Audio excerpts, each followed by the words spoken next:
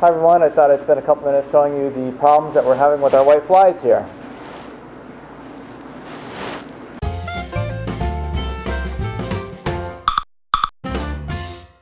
Before we get started, I wanted to thank our Patreon contributors. Our top contributors are TrueAquaponics.com, GreenLifePlanet.net, GlassBottleOutlet.com, and GroPockets.com. Thanks a lot. I've been battling the white flies for most of the summer, and even now that we're getting into winter, we still have them. And I actually think it's getting a little bit worse. They seem to continue breeding, but now we don't have any of the predatory insects eating them like uh, the ladybugs since it's too cold for them. They tend to be fairly selective with their plants. They don't bother the tea at all. They must not like it and the leaves are too tough. But this radish, they certainly like this one. Over the summer they were all over my tomatoes. I have a couple volunteers that are coming up in the beds and these have them all over it too. They're also in the strawberries along with my fungus gnat so I'm going to pull all these out too. This whole patch was just a couple of plants at the beginning of the season and now there's probably 100 plants in here that I'm just going to take out and they don't bother the oregano at all so we're going to leave that in here.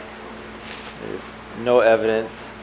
You almost have to wonder if you could make some type of a oil out of this and spray it on your plants to help deter them. They don't bother the rosemary at all. I don't even see them flying around it ever. And my nasturtium has some on it also. I have some celery here and have a few on these leaves too. Basically anything with a fairly tender leaf that probably doesn't taste horrible, they're going to go after it. During the summer I didn't see any white flies on the lemon plant, but now I see a few now that we have a few of the yellow lemons, so they're just attracted to the yellow and that's about it. They don't hang out very long on the lemons once they discover that they can't get through their skin and feed off of them at all. Here's a lettuce that's a little bit older than the other ones and you can see it's badly infested. Some of the plants I can just dunk into the water and get them off. Most of these I just feed to the guinea pig. Thing is that the white flies like to float on top of the water just from the surface tension and it doesn't seem to drown them and a lot of them can actually just fly away once they get their bearings again.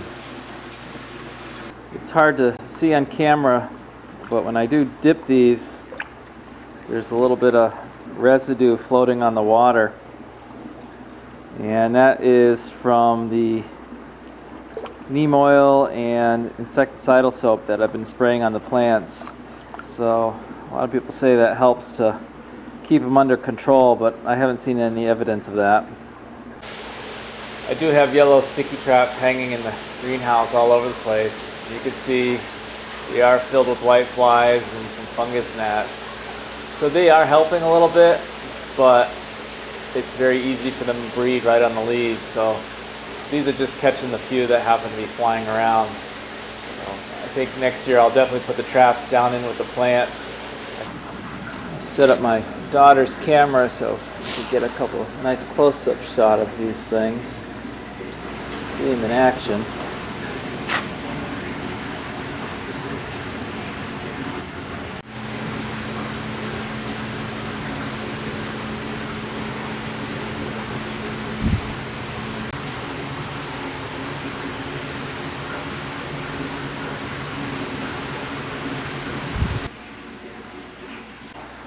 I've also tried using lemongrass oil and kapow, which is essentially the lemongrass oil, with no effect on them either. So I think just by removing the plants and uh, trying to get rid of the area where they can breed and try to freeze them out over the winter, it's probably my best solution right now. So if you have any suggestions on how to eradicate these things, leave a comment and it'd also be helpful to provide any references that you have.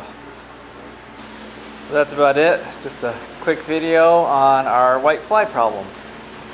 Thanks for watching.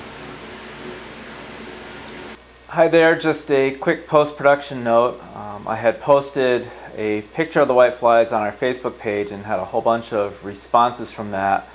And a few people suggested trying to use no-fly or PFR 97, which is a fungal culture. And that's used to basically infect the flies and aphids and other things and kills them that way.